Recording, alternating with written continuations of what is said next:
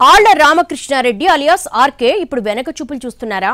షర్మిల వెనకే నేను ఆమెతోనే నా రాజకీయం అంటూ ప్రగల్భాలు పలికి భారీ డైలాగులు చెప్పి వైసీపీ నుంచి కాంగ్రెస్లోకి జంప్ చేసిన ఆర్కే ఇప్పుడు తిరిగి ఫ్యాన్ పార్టీ వైపు చూస్తున్నారా? మారుతున్న రాజకీయ సమీకరణాలతో మెత్తబడి పొలిటికల్ ఉక్కపోతకు ఫ్యానే బెటర్ అనుకుంటున్నారా? మంగళగిరి కేంద్రంగా మారుతున్న రాజకీయం ఏంటి? ఏపీ పాలిటిక్స్లోకి షర్మిల ఎంట్రీతో అందరికంటే ముందు జోరుగా హుషారుగా నిర్ణయం తీసుకున్న నేత మంగళగిరి ఎమ్మెల్యే ఆళ్ళ రామకృష్ణారెడ్డి. షర్మిలతో కలిసి పనిచేస్తానంటూ కాంగ్రెస్ కండువా కప్పుకున్నారైనా కానీ ఇప్పుడు ఆయన బౌన్స్ బ్యాక్ అవుతారన్న చర్చ ఏపీ పొలిటికల్ సర్కిల్స్లో జోరుగా జరుగుతోంది. అదే టైంలో ఇంత తక్కువ వ్యవధిలో ఎందుకు రావాలనుకుంటున్నారు అన్న ప్రశ్నలు సైతం వస్తున్నాయి. కారణాలు పైకి చెప్పకుండా వైసీపీ అధిష్టానానికి ఆర్కేకి మధ్య సయోధ్య కోసం కొందరు నాయకులు ముమ్మరంగా ప్రయత్నిస్తున్నట్టు ప్రచారం జరుగుతోంది. ఈ విషయమై రెండు మూడు రోజుల్లోనే స్పష్టత వస్తుందని అంటున్నాయి పార్టీ వర్గాలు. ప్రస్తుతం సోషల్ ఇంజనీరింగ్తో అభ్యర్థుల ఎంపికలు రకరకాల ప్రయోగాలు చేస్తున్న వైసీపీ కీలకమైన నియోజకవర్గాల విషయంలో ఎక్స్ట్రా కేర్ తీసుకుంటోంది.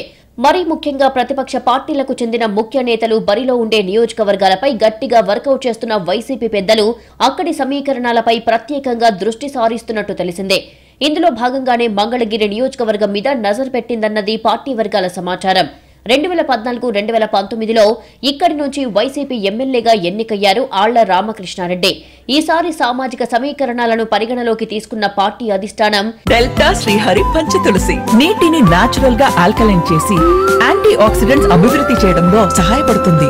పంచతులసి బీసీకి ఇవ్వాలని నిర్ణయించి గంజి చిరంజీవిని ఇన్ఛార్జిగా పెట్టింది. పార్టీ నిర్ణయంపై కెనుగు వహించిన ఆర్కే అప్పట్లో కొన్నాళ్ళు సైలెంట్గా సైడ్ అయిపోయారు. తర్వాత వైసీపీకి రాజీనామా చేసి వైఎస్ షర్మిల ఏపీ కాంగ్రెస్ పగ్గాలు తీసుకున్నాక ఆ పార్టీ కండువా కప్పుకున్నారు.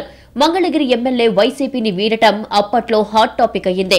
పార్టీ పెద్దలకు అత్యంత సన్నిహితుడు అన్న పేరున్న ఆళ్ళ వైసీపీని వీడటం ఒక రకంగా షాకింగే అన్నది అప్పుడు పొలిటికల్ పరిశీలకుల మాట. అయితే తిరిగి ఇప్పుడు ఇరు వర్గాల మధ్య సయోధ్యకు పెద్ద ఎత్తునే రాయబారం జరుగుతున్నట్టు తెలిసిందే. తిరిగి వైసీపీలోకి వెళ్ళాలని ఆర్కే మీద సైతం సన్నిహితుల ఒత్తిడి ఉందని అదే టైంలో మధ్యవర్తులు కూడా గట్టిగానే వర్కౌట్ చేస్తున్నారని అతి త్వరలోనే దీనిపై స్పష్టత వస్తుందన్న ప్రచారం జరుగుతోంది. దీంతో ఆర్కే నిర్ణయంపై ఆసక్తి పెరుగుతోంది. రెండు మూడు రోజుల్లోనే కీలక పరిణామాలు జరుగుతాయన్న వార్తలతో ఇటు వైసీపీ వర్గాల్లో సైతం ఉత్కంఠ పెరుగుతోందట.